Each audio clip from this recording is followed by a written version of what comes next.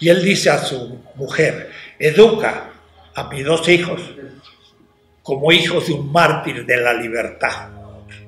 Yo me interno en la nada.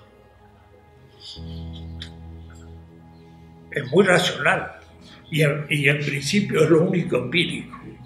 Me interno en la nada, o decir, desaparezco. Y eso es empírico. Pero ¿qué tal el viejito que le dice a la señora cuando muere, ya nos veremos? Y entonces le sonríe todavía, ya nos veremos. Y entonces le dice, hasta luego, y se le muere. Pero no le dice, vamos a la nada, si no nos vamos a ver. ¿Qué significa? Desde los aztecas y los cristianos que ven la resurrección, un relato mítico. Veamos cómo murió Babé, un tanto trágico, diciendo, bueno, se acabó, voy a la nada. Y el otro, en cambio, que dice, hemos vivido la primera etapa, vamos a seguir, así que nos vemos. Este hasta puede sonreír ante la muerte. ¿Quién murió cualitativamente mejor? El viejito que creyó en la resurrección. Lo podía probar, que no puede probarlo. Es un, es un paje, diría Pascal. Es una apuesta. Yo creo. Si no es, no perdí nada. Y si es, wow, qué bueno. Pero por de pronto gané en que morí mejor. Eso no me lo quita nadie.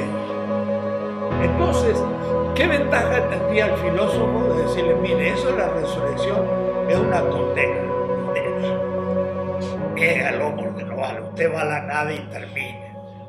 ¿Gano algo con eso? ¿Le, le quito la ilusión al viejito?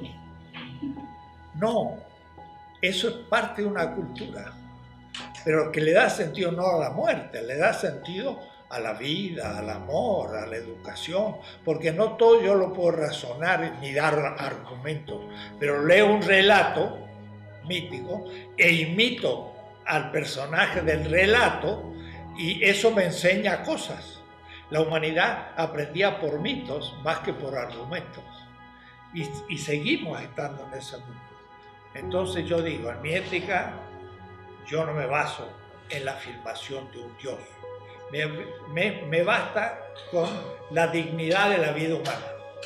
Pero el mundo mítico de mi pueblo, yo no lo niego. No tengo derecho.